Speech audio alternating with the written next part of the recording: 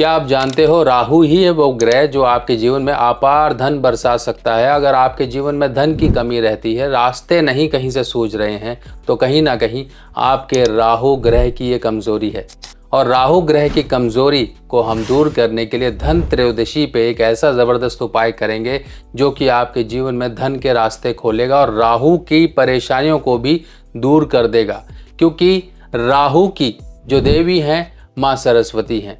और सरस्वती की कृपा से ही आप, यानी कि बुद्धि और विवेक के दम से ही आप अपने धन के रास्ते खोलोगे।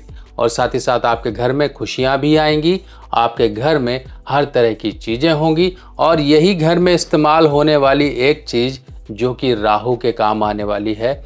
और आज मैं आपको इसकी अहमियत इम्पॉर्टेंस और किस तरह से ये आपके राहु को कंट्रोल करने वाला एक उपाय बनेगा, आज हम इसकी चर्चा करेंगे। नमस्कार दोस्तों, त्योहारों का समय चल रहा है और ये त्योहारों के समय में हम अपने घर की पुरानी चीज़ों को बाहर कर रहे हैं और नई चीज़ें जो हमारे घर की शुभता को बढ़ाएँ, हमारे घर में एक अच्छा अट्रैक्शन दें, हमारे मन को शांति दें, जिससे कि घर की एक शोभा भी बढ़े और आपके मन को भी शांति मिलती रहे। क्योंकि देखिए, खर्चा तभी हो पाता है जब जेब में पैसा हो और जेब में अगर पैसा ही ना हो तो त्यौहार भी खाली चले जाते हैं। पर आपका त्यौहार खाली ना जाए। आपके जीवन में धन के मार्ग खुलते रहें। उन मार्ग को खोलने के लिए सबसे पहले हमें राहु को देखना होता है। राहु को हम ज़्यादातर परेशानी से जोड़ के देखते हैं कि जिसके राहु डिस्टर्ब होते हैं, उसके जीवन में परेशानियाँ आती है। राहु की दशा आगे, दिमाग कहीं ना कहीं कंफ्यूज रहेगा, आपको डर रहेगा, आपका दिमाग कहीं ना कहीं बंद रहेगा। अब ये सारा कुछ दिमाग से क्यों? क्या कभी आपने सोचा कि राहु आपके दिमाग पर, आपके सोच पर असर क्यों डालता है? अब एक बात सोचिए, एक आदमी परेशान है, दिमाग से परेशान है तो वो कुछ नहीं कर पाएगा। आपके दिमाग में एक बार में एक ही विचार घूमेगा। या तो वो सैड, यानी कि किसी तरह से नेगेटिव विचार घूमेगा, या तो वो पॉजिटिव विचार घूमेगा, या तो वो प्रोडक्टिव विचार घूमेगा। अब प्रोडक्टिव विचार किसके दिमाग में आता है? यानी कि ऐसा विचार जिससे वो फ़ायदा कर सके। और फ़ायदा करने वाले जो लोग हैं, वो बिजनेसमैन हैं, कहीं ना कहीं वो इस तरह के आइडियाज़ लगाते हैं, यार, ये तरह का माल अब डाल लेते हैं, ये माल को अब हम इधर भेज देते हैं, उधर का पैसा इधर लेते हैं, इधर का पैसा उधर लगा देते हैं रोटेशन कर लेते हैं। ये एक आइडियाज़ हैं, एक इंसान को कामयाब बनाने वाले आइडियाज़ और दूसरी तरफ़ वो दिमाग है इंसान का जो कि घर में पड़ा हुआ है, इंसान सिर्फ़ डर रहा है सोच रहा है, घबरा रहा है, इंसान कुछ कर ही नहीं पा रहा यानी कि उसको एक तरह से अरेस्ट कर देता है दिमाग। जैसे होता है ना कि अरेस्ट उसको कैद में डाल देना। आजकल तो वो भी चल रहा है डिजिटल अरेस्ट तो इसी तरह से ये जो राहु है, ये डिजिटल जो दुनिया का, ये भी सरताज कहलाता है। इसी तरह से आपकी सोच, आपकी बुद्धि, कहीं ना कहीं आपका विवेक, ये सब माँ सरस्वती से कनेक्टेड हैं। कहते हैं ना कि माँ सरस्वती ज्ञान और बुद्धि की देवी हैं और विद्या की देवी हैं। विद्या यानी कि आपने कोई काम सीखा, तभी उस काम से आप जीवन में कुछ अर्जित कर पाए। यानी कि आपने बिज़नेस के कुछ काम, धाम सीखे, तभी आपने उससे कुछ अर्जित किया। इसी तरह से जब तक राहु व्यक्ति का शुभ ना हो तो दिमाग में उठने वाले विचार भी शुभ ना होंगे। दिमाग में उठने वाली तरंगें भी शुभ ना होंगी। अब ये जो धन त्रयोदशी का दिन है, इस दिन आपको एक ऐसा ज़बरदस्त उपाय मैं बताने वाला हूँ जिसने कर लिया वो पहले दिन से ही अपने जीवन में एक नया बदलाव महसूस करेगा, अपने घर में धन के रास्ते आते हुए देखेगा, अपने जीवन से ये जो किल्लत है पैसों की उसको दूर करेगा। तो ये है वो जादुई चीज़ जो आपके घर में रसोई में होती है। जी हाँ इसको ध्यान से देखिए। ये है आपके घर में मिलने वाली साबुत धनिया, कोरिएंडर सीड्स जो आपकी रसोई में होती है। अब ये धनिया देखिए, हमारे पास ही इन सब चीज़ें। हम परेशान रहते हैं। हमें पता ही नहीं होता कि करना क्या अब ये धनिया आपके घर में, रसोई में होगा। अब ये धनिया आपने क्या करना है? धन त्रयोदशी के दिन आपने धनिया ज़रूर खरीदना है। इस चीज़ का ध्यान रखिए। धनिया आप अपनी इच्छा अनुसार क्वांटिटी अनुसार खरीद लीजिए और ये धनिया आपके घर काम आएगा और इस धनिया से आपको कुछ काम भी करने हैं। अब वो काम क्या है वो समझिए। अब ये सब कुछ हम धनिया से ही क्यों कर रहे हैं? क्यों? क्योंकि धनिया राहु की कारक वस्तु है। और राहु की कारक वस्तु को हमने ये शपथ दिलानी है कि राहु महाराज, आप शुभ चलो। यानी कि माँ सरस्वती की कृपा से। अब ये जो हम धन त्रयोदशी, इस दिन हम पूजा करते हैं, माँ सरस्वती की करते हैं, लक्ष्मी जी की करते हैं, गणेश जी की करते हैं, कुबेर जी की करते हैं, जो आपके घर में देवी देवता आपने विराज मान कर रखे हैं, उनके सामने हम अपनी पूजा अर्चना करते हैं।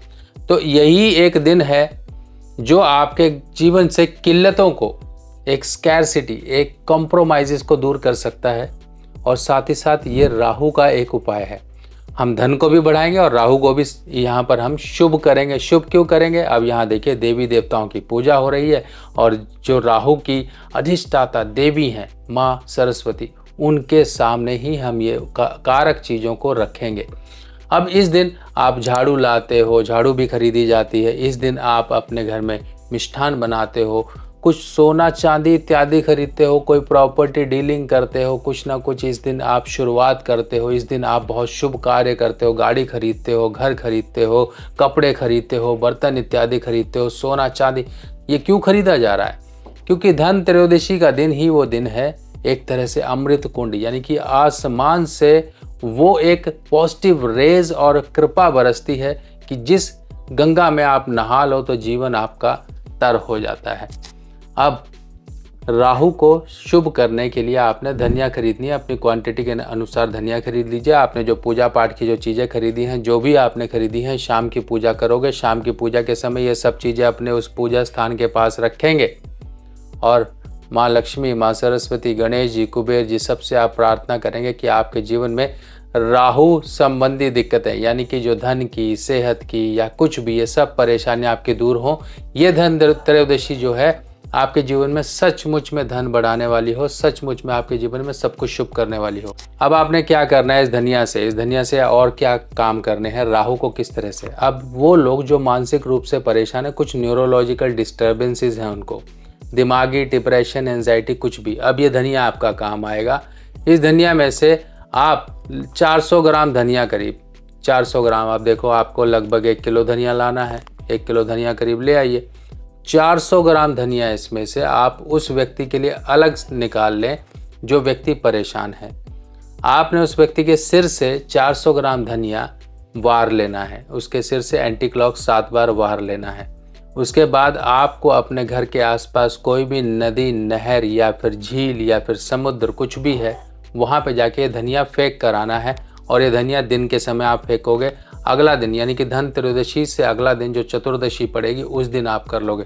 अब आप ये सोचोगे कि चतुर्दशी को उपाय नहीं होते, पर इतना ध्यान रखिए ये पंच दिवसीय एक समय चल रहा है। इस समय में ना तो नवमी, ना फिर चतुर्थी, ना नावी कुछ भी, आप इतने जो दिन होते हैं, जो आपके नेगेटिव चीज़ें होती हैं, सब कहीं ना कहीं न्यूट्रलाइज हो चुकी होती हैं। तो इस समय में आप ये उपाय करेंगे और उस व्यक्ति के लिए करेंगे जो परेशान है। अब, जो व्यक्ति राहु की दशा से पीड़ित है, धन नहीं आ रहा है, सारे तरफ़ से रास्ते बंद हैं तो वो क्या करेगा? यही धनिया जो आपने पूजा करी थी धन त्रयोदशी के दिन, कुछ धनिया लाल कपड़े में बाँध के अपने घर की तिजोरी, आपका ऑफ़िस का गल्ला है या कुछ भी है, उसमें रखिए, आप अपने कैश बॉक्स में रखिए, ये धनिया आपकी सेफ़ वहीं पड़ी रहेगी। अब, ये धनिया आप अगले वर्ष फिर रोटेशन करोगे अब कई बार क्या होता है कि ख़राब होने का डर होता है तो पॉलीथीन में पहले डाल लीजिए, फिर बाद में उसको लाल कपड़े में लपेट के, चाहे थोड़ी, चाहे ज़्यादा, आप रख लीजिए। बाकी आप लोगों को मैं फिर आपको एक सबसे ज़रूरी बात बता दूँ कि ये जो त्यौहार का समय है, इस समय में एल्यूमिनियम की चीज़ें बिल्कुल भी भूल कर मत लेकर आएँ। इलेक्ट्रॉनिक्स थोड़ा अवॉइड करिए, आगे पीछे कुछ और दिन आएँगे, उनमें ले लीजिए। पर जिसके राहु संबंधित प्रॉब्लम है, एल्यूमिनियम के बर्तन से परहेज करें। इलेक्ट्रॉनिक्स इस दिन ना खरीदे, खरीदना है तो सोना, चांदी, पीतल, तांबा, कांसा। ये धातु आपके जीवन में शुभता बढ़ाने वाली होती हैं। इन धातुओं को अपने जीवन में ज़रूर शामिल करो। बाकी देखिए किस तरह से आपके जीवन में जो चल रही परेशानी है, वो सब की सब दूर होगी। ये जो त्योहारों का समय है, आपके जीवन में खुशियाँ लेकर आएगा और खुशियाँ आपके जीवन में आ जाएँ।